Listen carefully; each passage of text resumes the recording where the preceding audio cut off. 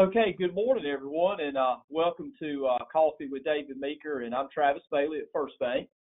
Um, my company is honored to uh, be the presenting sponsor for the Coffee with Leaders series, and we just believe it's a great opportunity to hear firsthand experiences of our top business leaders in the community. And so, just a little bit about uh, First Bank. So First Bank is the largest community bank uh, headquartered in North and South Carolina. We're actually uh, home base is Southern Pines, North Carolina, and um, I have actually been with First Bank for over 14 years. And um, you know, one of the strongest points for me is that First Bank is is is small enough that we can we can attend to the local business community, but we're large enough to be able to handle uh, metro markets such as Raleigh um, we we dabble a lot in uh, CRE, commercial real estate development. Um, we have a, a very strong private banking division um, that we've just established here in the Triangle, um, as well as uh, our our personal and retail divisions. And so we have a a strong team in place. We have branches located in Raleigh, Cary, uh, Fuquay, and Apex, uh, which is our Wake County Wake County market. We have over 100 branches scattered across state, and um, you know it's uh, we're all kind of dealing with a uh, with a difficult time right now, but you know we're very proud of our our bank and very proud of our employees and our teammates for what we're doing for the community right now. Um, so uh, today, though, I have the pleasure of introducing our guest speaker, uh, Raleigh native David Meeker, who helped found Trophy Brewing and a, a Carpenter Development uh, back in 2008. Um, David, like like all of us in business, has made a lot of mistakes, um, but created a lot of experience that he's you know open to share with our community. And so David's on the board of Common Cause, uh, North Carolina North Carolinians for Redistricting Reform, Raleigh Chamber, Downtown Alliance, Dix Park, Art Space. Um, he's actively involved in fundraising for Healing Transitions. Um, a detox and recovery center on Dix Park. Uh, David lives in downtown Raleigh with his wife and two boys, uh, ages one and three. So um, David is uh, staying pretty busy, I'm sure, with that. Trophy Brewing was uh, looking forward to a great 2020, just finishing their state of beer expansion um, and weeks away from their Trophy Brewing on Morgan Street expansion. Um, you know, opening when the coronavirus hit. Uh, Morgan Street obviously is is is one of our one of our most prideful uh, restaurant spots and and uh, local local hangouts in Raleigh, and so and I know David was extremely excited about that, and you know in, in dealing with the virus, and so over the course of a few days, David hit the ground hard, having to furlough most of Trophy Brewing's employees, and just trying to you know figure out how to survive through this. Like like many of us in business, you know we we deal with uncertainties all the time, but this has been just a uh, something that has been very difficult because we don't we don't really have anything to compare it to. So we'd like to listen to how David's dealing with the pressure and stress of it all, and how his business has shifted. Um, he's been able to keep a few managers on payroll, and how Trophy Brewery is planning to function in this in this new age. Um, so please take take a few minutes to uh, type any questions in the chat box, and we'll we'll open up for question and answers at the end. And also, let's welcome David. Good morning. Thanks, Travis. Really, really appreciate the intro, and thanks to Des. Yes, Des thanks to Des and the Raleigh Chamber for putting this on. For those of you all who don't know Des, um, she's a true team player, and it really showed in this quarantine. She uh, voluntarily moved in with her sister and her sister's five kids at the beginning of the quarantine, uh, with her sister still going to work. Um, so she uh, she's really winning Sister of the the Year award um, for her for being a team player during this. Um, for those of y'all who don't know me, I guess you've heard Travis's intro. I'm a partner in Trophy Brewing and Carpenter Development. Trophy Brewing is a production brewery, um, and Carpenter Development's a real estate investment company um, with commercial tenants. I wanted to start today off with a Broughton and Enloe story. Um, for those of y'all who aren't from Broughton and Enloe, uh, or aren't from Raleigh, Broughton and Enloe are um, downtown high schools that have academic and athletic rivalries. And the story is sort of timely with this week. Um, so I went to Enloe, graduated in 2002, and then went away to college. But when I was coming back, um, there was a campaign by Broughton students uh, to turn the front lawn area there into parking. And, uh, and there was a counter campaign against that, sort of saying, hey, this is the um, picturesque spot of Broughton, this nice grass in front of this historic building. We shouldn't do that. And the students who wanted the parking um, so that they could get to school faster or more conveniently um, put on a protest. And, um, and one of the protesters had a sign that said, you know, class before grass. You know, if, if we, uh, we need the parking so we can get the glass uh, on time, and that's more important than, uh, than, you know, having a grass lawn. And I thought, man, that is really interesting. At Enloe, we always said grass before class. um, okay, wanted to start off with something funny.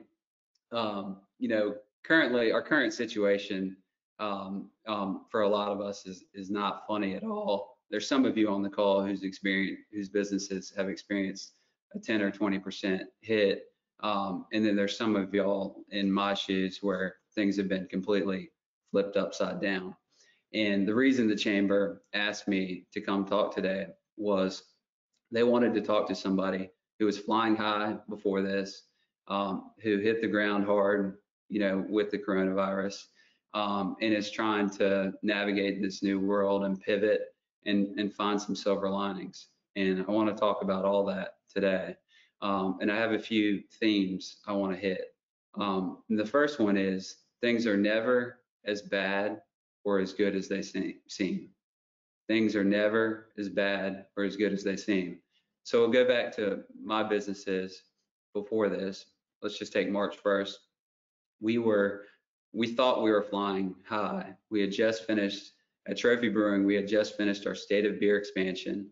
Um, we had actually had our opening party and we were looking forward to new sales there. At Trophy Brewing on Morgan Street, we were about 95% of the way um, on that renovation. Um, and we were going to open just in time for spring weather. And we were looking forward to sales there. Um, of course, um, and so we sort of thought, hey, we're on cloud nine. 2020 is going to be our best year ever. We're going to get out of the weeds. We're going to save some money.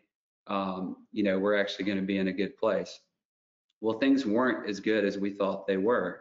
We were just finishing those renovations, so we actually hadn't seen any sales there. Uh, we hadn't been able to build back up our bank accounts.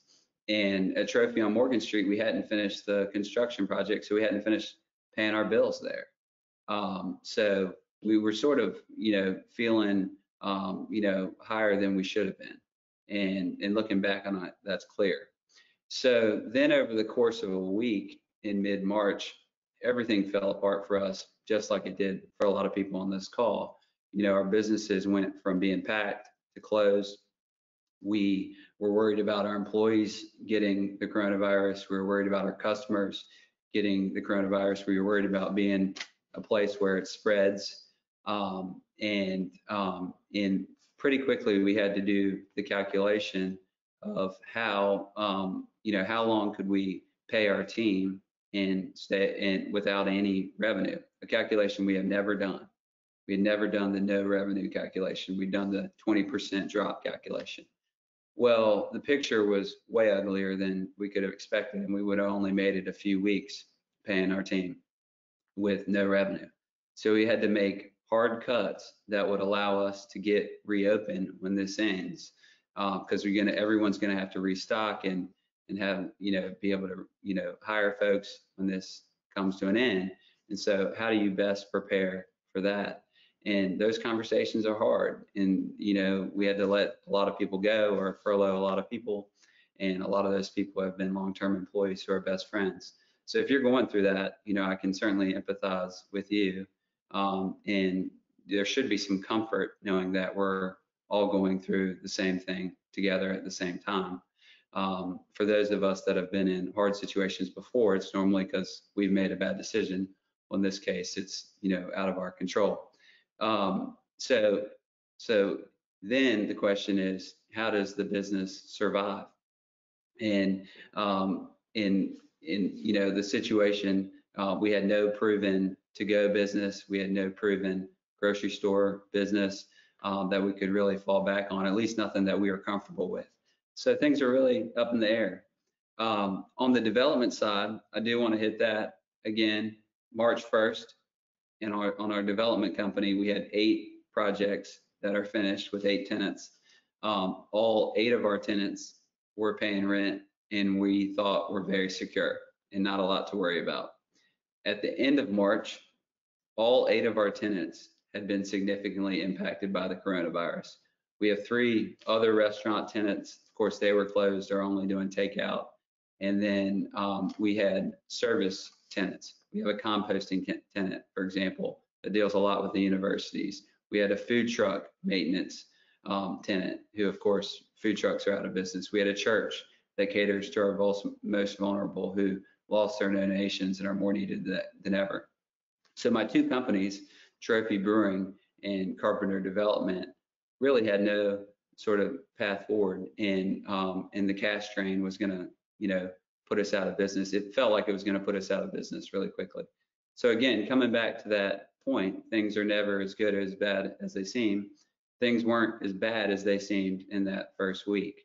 Um, they we did pivot to to go. Although you can't make money on to go because the margins are so thin, you can slow your cash drain and you can keep some key people on staff, at least with a pizza restaurant. We've been able to do that. Um, we also have ramped up our beer in grocery stores um, where you know we didn't do a lot of sales there before um, and created new relationships there. And then with the um, development company, we when we were figuring out how long we could make it with no tenants paying rent, we didn't factor in that banks would be willing to defer the mortgage. Well, a week and a half, two weeks into this, um, banks sort of started to say, hey, this is different than anything we've dealt with in the past. And we will, in some cases, be willing to defer the mortgage, at least in our case, um, they have been. And so that gives us a lot more runway to wait this thing out. If our tenants aren't paying rent, but the mortgage isn't due, we can we can last a lot longer. So um, so things weren't as bad as they really seemed. So then you start to think about the pivot. Where do we go from here? And our sort of theme here has been make short-term decisions, but keeping the long-term in mind. So make short-term decisions, but keeping the long-term in mind. So at Trophy, when you think about pivoting to the to-go business and grocery store business, those are two revenue centers that we could um, potentially keep going long-term after the coronavirus is done. The margins are thinner than selling a beer to someone on site, but the uh, but the, you know there is income there, and if you scale properly, it could be helpful long term. And so um, so we sort of looked at that as a positive, and there was more reason to get good at it if we were going to do it for several years rather than just a couple months. The second thing we did there was we kept our managers on the payroll and people, some people ask, why would you keep your managers on the most expensive people um, when you are running out of money? And the reason we did that was so that, again, keeping the long term in mind, so that we could get reopened quickly after this is done, start to generate some revenue again. Um, and um, and so if we have our managers in place, things start to open up, they will be able to rehire their team quickly um, rather than having to find a new manager and get started, which could, which could take weeks or months. Um, and then the last thing at Trophy we did was we decided to finish up our Trophy on Morgan Street expansion. It's actually a tough decision because, um, you know, we were about 90, 95% of the way there. Some businesses stopped all construction and saved cash. Um, you know, there's a, some logic there we decided to go ahead and finish that project um, and be and have it sit finished and ready to open when this thing ends rather than being 95% of the way there having to re gear back up um, and and finish after this ends so that when things start to open up we will have that space ready so again made a short-term decision thinking the or thinking about the long term. And then on the development front, you know, um, we decided to um, waive the rent for all eight tenants. Again, all of our tenants were impacted um, seriously by the coronavirus. Um, we wanted to make the best long-term financial decision for us and our tenants. And the best financial thing that could happen is all of our tenants um, reopen when this is done and pay rent again. Um, some of them wouldn't have been able to pay rent anyway, so it wasn't really a question. But even the ones who could have paid rent, if we can waive it because we're getting our mortgage waived, um, then they'll be in a much stronger financial position coming back, which is what our company needs long term. We want them to stay around. And then also, um, you know, at that time I was having some trouble sleeping, worried, being worried about my business, and waiving the rent for my t- for my tenants definitely felt good and helped me helped me sleep some. And then the next theme is um, sort of bad times aren't all bad. I'll say that again. Bad times aren't all bad. There are probably things in your company that you've been doing that don't make money or you don't enjoy doing, um, and they they were hard to get out of uh, when times were good. But when bad times come, they allow you to make structural changes um, to your business to get out of things that you wanted to get out of but couldn't before. Um, you can blame the um, you know getting out of them on the coronavirus. Nobody's going to question you. It's a great excuse, and and you can always look back at this time um, as, oh, wow, you know, that was a really hard time, but we were able to get out of this or pivot to this instead. And, and that was a nice silver lining. At Trophy, you know, we're, we're taking that opportunity too. We had one location that took a lot of work and was only making a little bit of money. We're going to pivot that concept into something I think is going to be very successful long term. And we may look back at the coronavirus allowing that pivot and it was really a game changer in a positive way for our business. Um, so, um, so you know, use this time as an opportunity. The second thing, in terms of bad times aren't all bad, is a big thing the chamber's been pushing. It's a great opportunity to reaffirm your company values. Why did you get into business in the first place? A lot of folks did it because they worked for somebody else, thought they could do it, just as well or better and um, and went into business on their own. And what were you thinking when you did that? Did you want to be a green company? Did you want to help the most vulnerable people in your company? Um, you know, and and how can you reaffirm that now, even in these hard times, um, and do more of the things you wanted to do when you first started?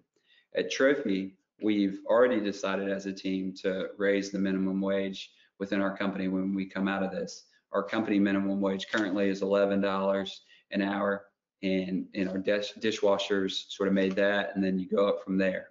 Well, um, now we've realized through this, or I think we knew it, but we re-realized that our dishwashers are most essential people now. Got to have clean dishes when things reopen. Um, and so we're going to raise the floor um, to 12 or 13 dollars. Of course, that raises everybody else up. And how are we going to do that financially? Well, we don't know because we don't know what our sales are going to be, but we're going to figure it out. And um, if nothing else, we'll feel better about our company um, long term because um, because we're getting back to our core values. And then the last thing with bad times aren't all bad is I don't know about y'all, but I've been spending a lot more time um, at home, working from home, uh, my wife and I are trading off on the kid duties. Um, so I've spent more time with my two sons than I really did before ever. Um, I was sort of one of those business people who leaves home at 7:30 and gets home at 6:15 or 6:30, and that was just normal. And you normally had an event once or twice a week, and um, just wasn't home as much um, as you know maybe I should have been. And this time with them has really made me realize what's important. Um, we've done some distancing beers with neighbors um, in our in our yard, and uh, apparently that's a normal thing that happens in the neighborhood in normal times, but I've never been there for it.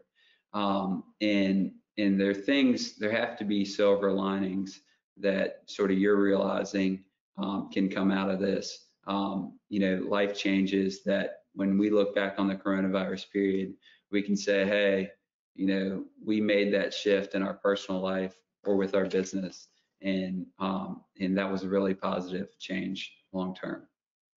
One example is these Zoom calls; they just seem so much more efficient um, to me than in-person meetings, and I think those will continue long term.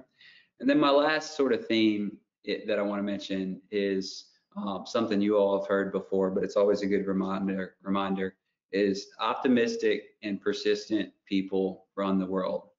I'll say that again. Optimistic and persi persistent people run the world.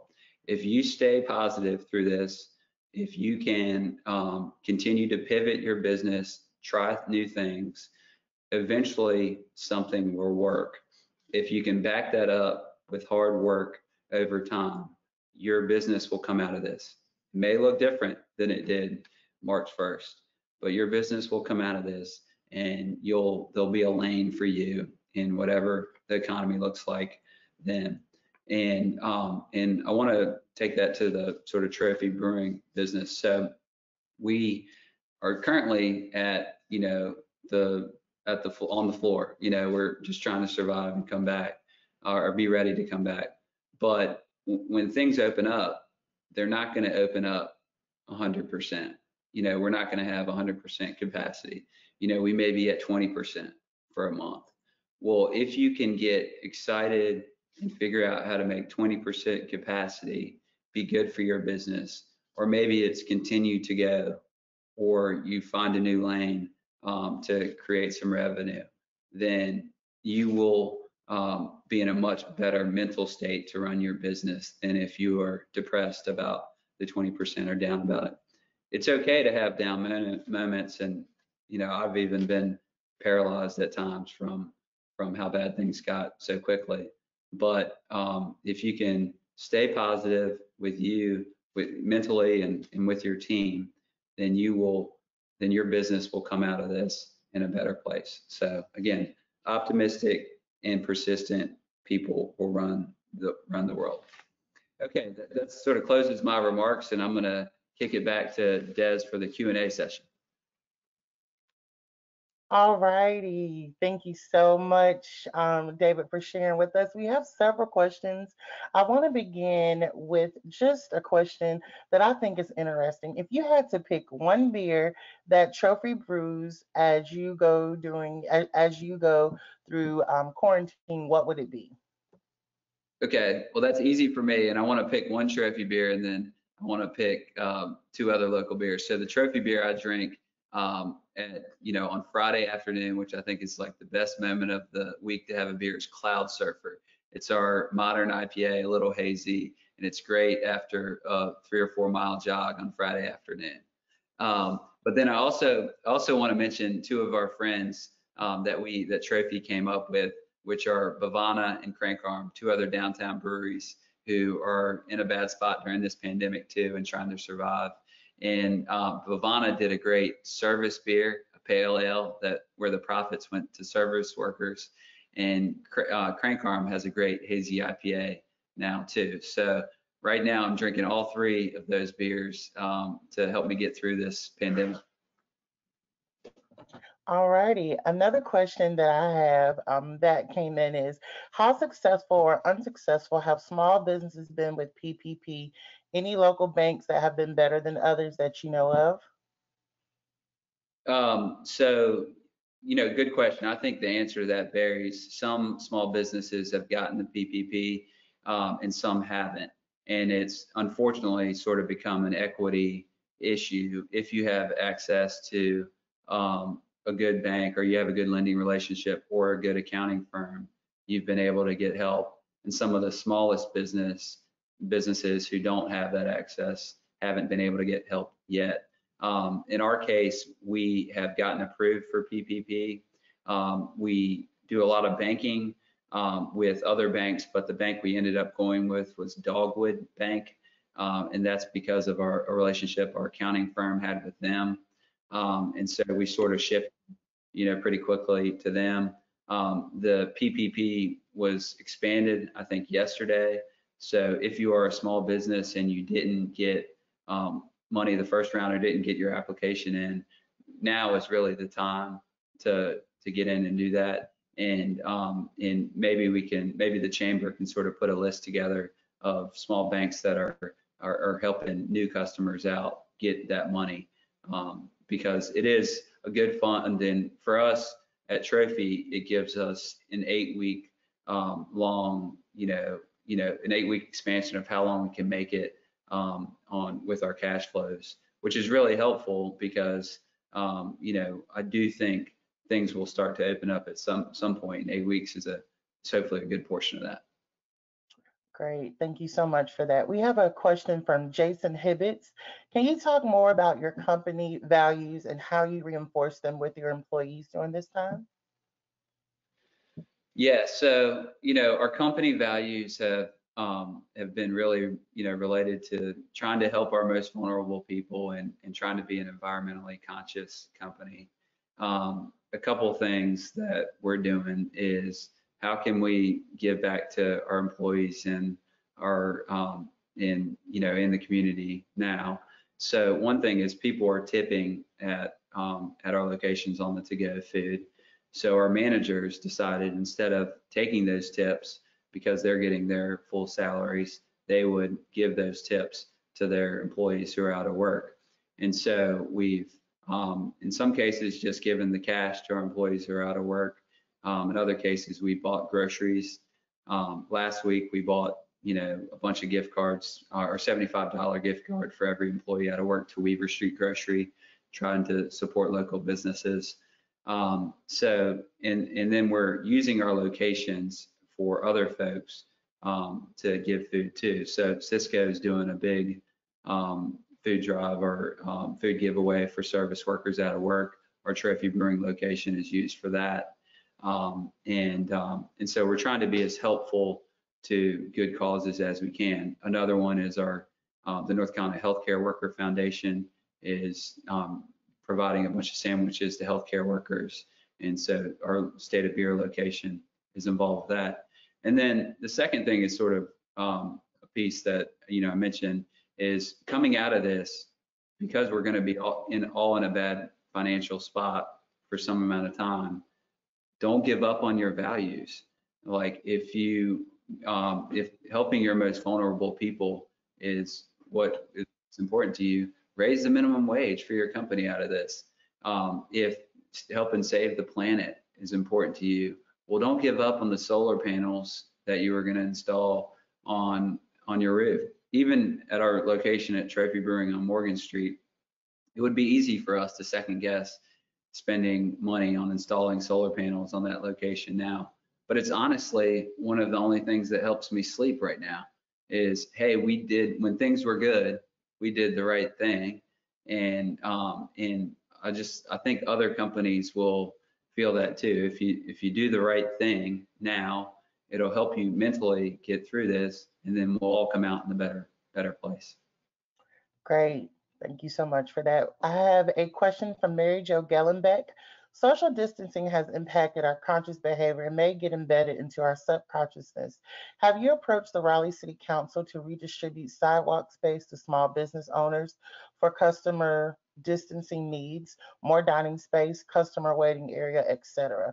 By, right, by redistributing road space for vulnerable road users, pedestrians, joggers, light individual transport to access travel.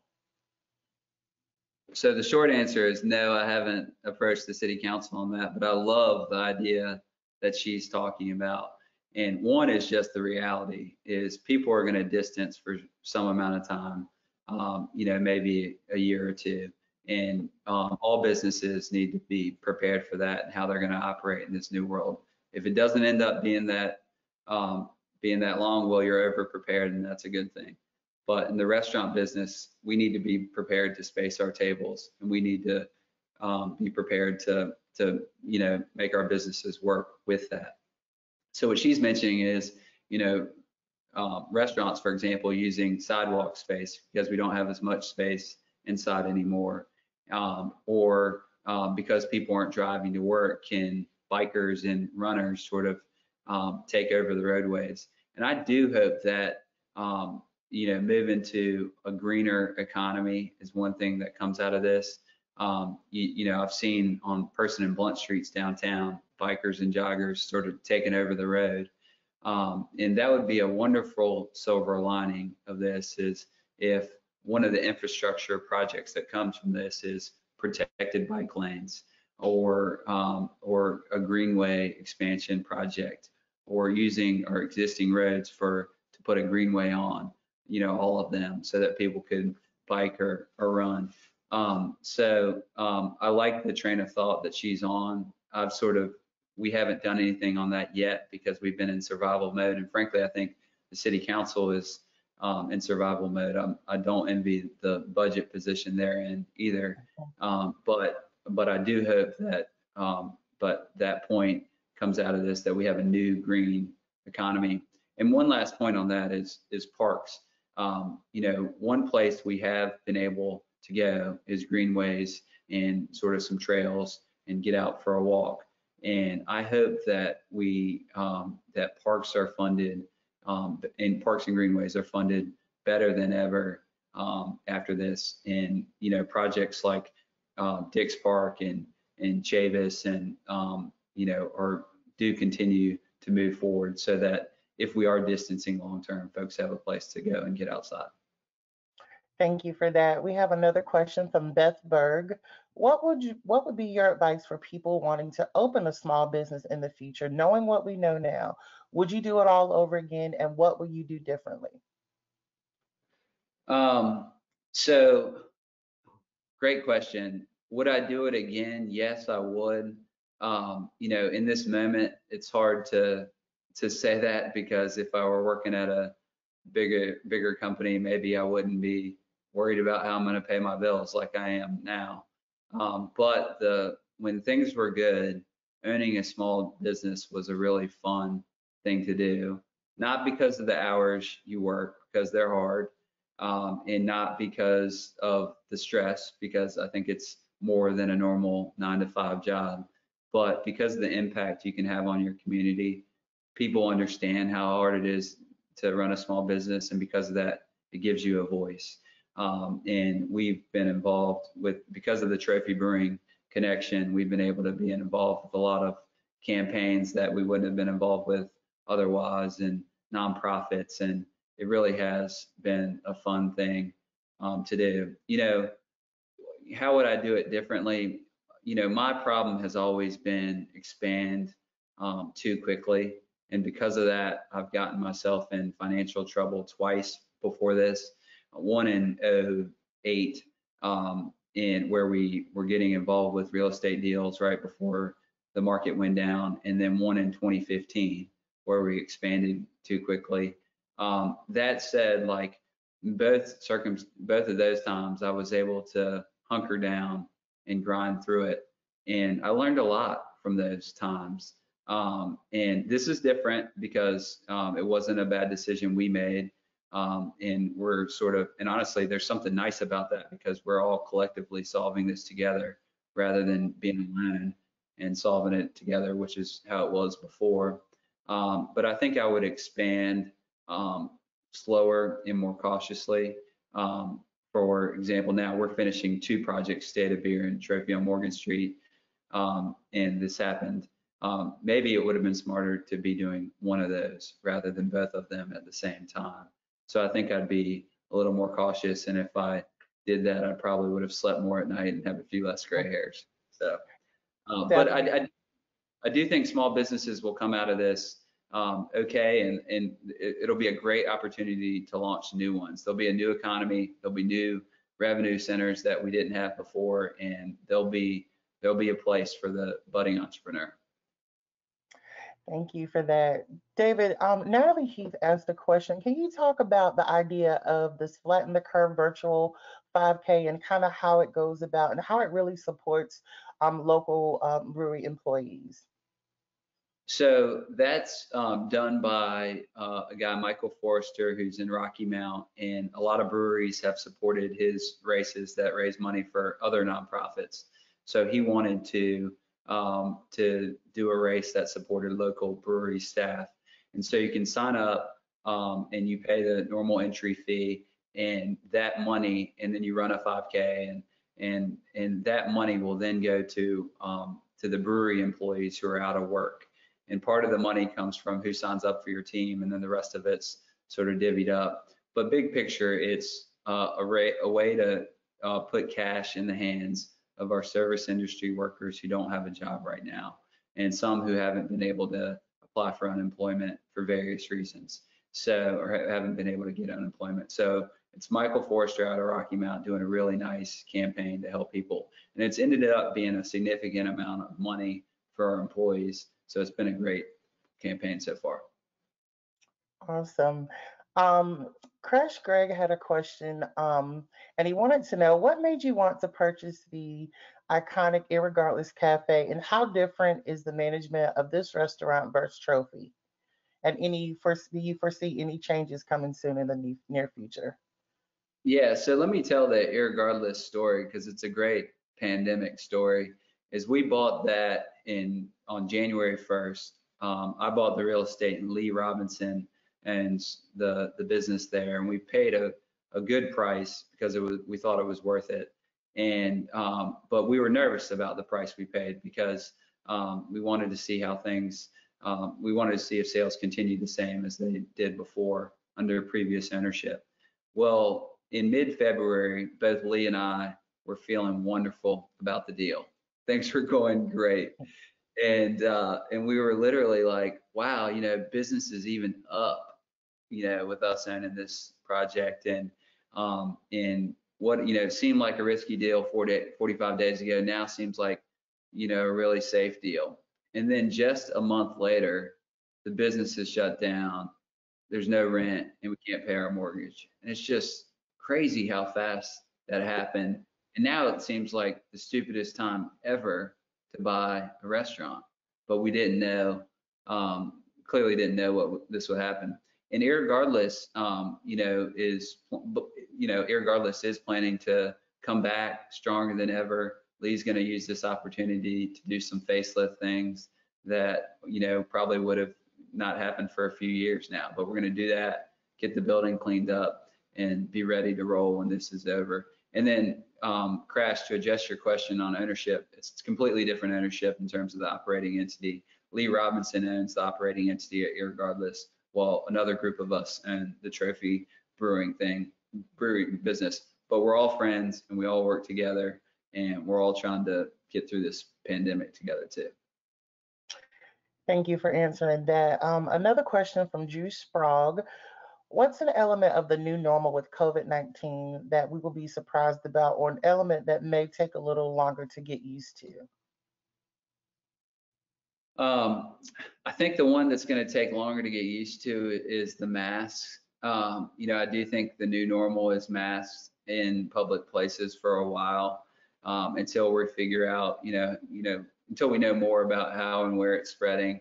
Um, and that means servers at coffee shops, for example, or restaurants wearing masks. It means a lot of customers wearing masks, um, and and that sort of that's I think a hard thing for a lot of people to get used to because you're so used to seeing people's faces and um, it, you know it makes you feel like you're scared, but there is something out there for us to be worried about. So I think that's a new normal for me.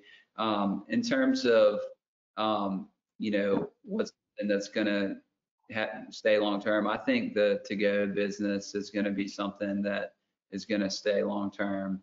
Um, in businesses, you know, the sooner we can adapt and pivot to that, um, the better for the businesses. But um, I think we um, people are going to do to go way more often than they did before, and even higher end restaurants, um, you know, are going to have to to pivot to that and have some revenue from that long term. So. Thank you for that. Sean Gleason had a um, question. Davis has always supported the Healing Place. Does he have a close personal experience with people recovering from drugs and alcohol? And what drives that passion to support? So I love healing transitions.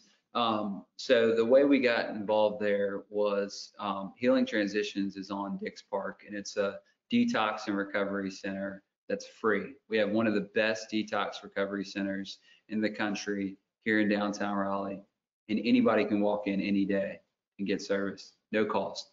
Um, it's just an amazing facility. So before um, before Trophy Brewing moved into Healing Transitions neighborhood over on Maywood Avenue, um, the neighborhood hadn't always been positive on Healing Transitions uh, because of the foot traffic and whatever.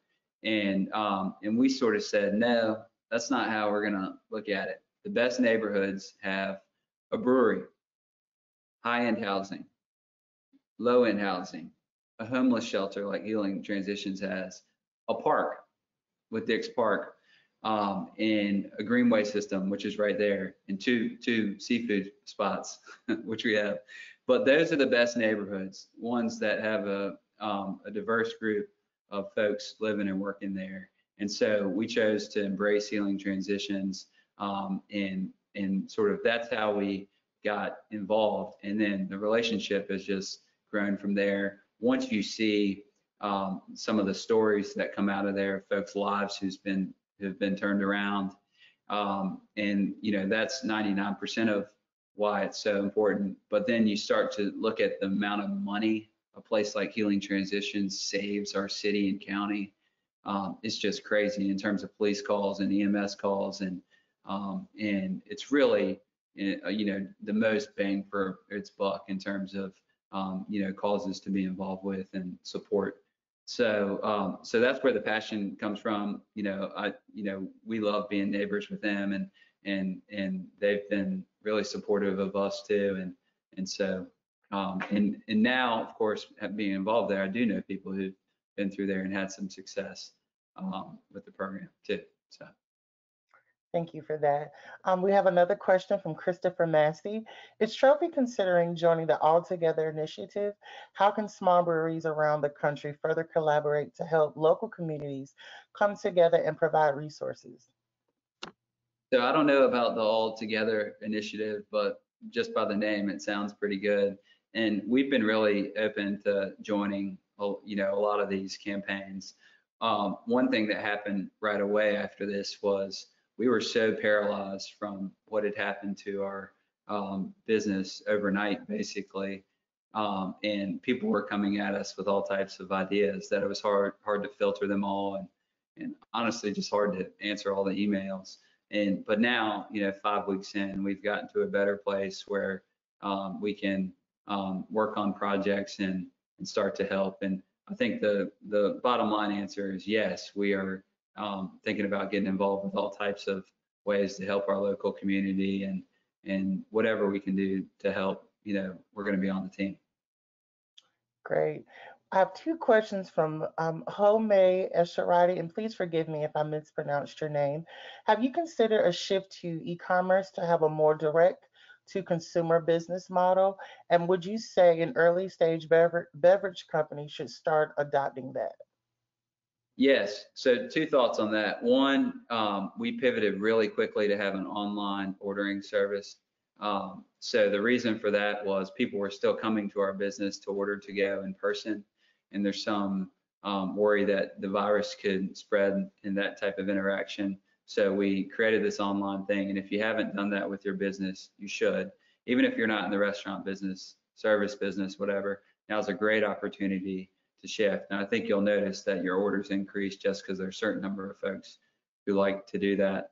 Um, and then um, and then we also, on that same vein, we got really good at the no contact um, or tried to stay in front of it of the no contact mask gloves.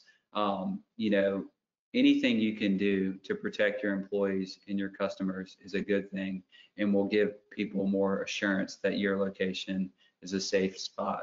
And certainly that makes sense in our business, in the restaurant business, but it really makes sense in any business. Even if you're a law firm, you know, you need to be thinking about, you know, what's going to make your employees feel safe coming in. Um, and you know, where do you need to have hand, hand sanitizer? What kind of spacing do you need to require in the break room? How do you alternate days when people come in? Everybody needs to be thinking about how to adjust. And then in terms of the online platform um, in in shipping, yes, we have moved to Trophy is now delivering beer within the Raleigh area and shipping beer um, across the country and some places. And it's been surprising at how much that's been. Um, is it going to keep the business afloat? No, but it's an extra 5%, which really helps right now. And a lot of the orders have been from folks who used to live in Raleigh, like Trophy Beer when they when they um, lived here, and now live somewhere else. And during this pandemic, when people are drinking from home, they want a, a taste of Raleigh. So we've been doing that. But I, I do feel like every business should figure out how to function better online. Um, not only as a requirement now, but I think you'll see a boost um, after this is done. Thank you for that. We have another question from Jennifer Martin. This Saturday is virtual Brewgaloo, where consumers are buying beer and the money goes back to breweries. What do events like this mean to your brewery in particular? Well, Brewgaloo has always been a wonderful event for craft breweries in North Carolina and, and Trophy too. And I think the, you know, certainly the, the proceeds will be helpful for our team um, and and you know keep us over the hump. But the biggest thing is like we have um, you know events like that and groups um, like Jennifer's in our corner, and we know that, and it's just so comforting to know that so many people care about us and so many people are rooting for us to come out of this alive. Um, and and that's what's helpful. And um, so it really means the world. I'm so glad to hear virtual Brewgaloo is going to happen. I was a little worried about it. We have our virtual Cheers beer coming out on Friday just in time for that. Um, but Brewgaloo has always um, been a great fundraiser um, for the small business community, and um, and this year no exception. Awesome. We have one last question through the chat before we transition over to the raise your hand feature. Um, this question comes from John Heisman. Please forgive me if I mispronounce your name. I know you are a big component of mass transit. Yay. What are your thoughts on how this new push for social social distancing will impact the use of things like buses, which are which are a critical component of a good mass transit strategy? Yeah, so I'm a huge proponent of mass transit. And before this happened, I was lobbying for fare-free bus system in Raleigh. The thinking was that most of the people who are riding the bus are lowest income workers. So why are we charging them a couple bucks each day just to get to and from work? I do think the bus system and um, and subway systems in bigger cities um, will look different for a long time. We'll have to distance um, as much as we can and the ridership will be down because some percentage of folks will avoid it if they can. And currently, I think smartly, the city is saying don't ride the bus unless you have to to get to work. Um, so I think, you know, unfortunately, short term, it means less people will ride. I don't think long term it, it, it should have a negative impact. Uh, at least I hope it doesn't. Mass transit is the solution for you know us moving to a green world, um, you know, in terms of, you know, less trips and less congestion and, um, and just more efficient financial use. Um, one opportunity here with the bus system is less people are riding. And so um, it almost was more expensive um, to collect the fare than the fare was generated. So the city um, during this moved to fare-free buses. Um, it's a short-term move, but it allows us to sort of see how that works and and stops the spread of germs on money. Um, and it was a really you know nice shift by the city, and we can sort of test that that move out. And a silver lining out of this may be um, sort of you know hey we've we've realized fare free is a good idea and we can move to that long term. But short term, I think you can look at cities in China as an example, um, and it's not the way folks like me hope it goes. But you know, car sales are up. People are less likely to get on a bus and instead are sort of getting in their personal vehicles. Um, and it's sort of not the direction we wanted to go from a green standpoint, but um, until the virus stops spreading, um, I think it's at least, you know, understandable. Thank you for that. Thank you for asking those questions. We're going to now take a few live questions. If anyone has a question for David, please signify by raising your hand and we'll call on you momentarily if anyone has a question. Does anyone have anything?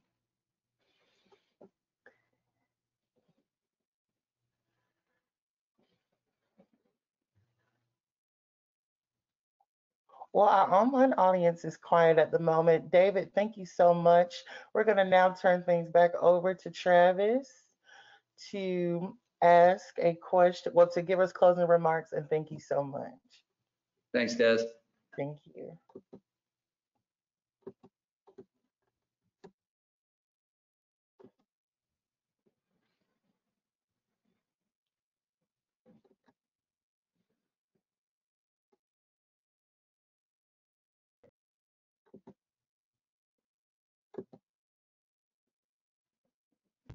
David, thank you for uh, for sharing your journey today. It's uh, it was a it was a great a great story, and I'm sure it was very inspiring. It was inspiring to me, and I'm sure it was inspiring to the to the attendees today. I I, I jotted a couple things down that you said is you know optimism and, and persistence will will rule the world and will change the world, and you know I think about that a lot um, you know, live it, you know, try to live your life as a glass half full. You know, you wake up every day and you do the right thing, like what you said, and you, you live by that. And, you know, that is, um, you don't give up on you, on your values. Um, because, you know, that's really who, what defines us.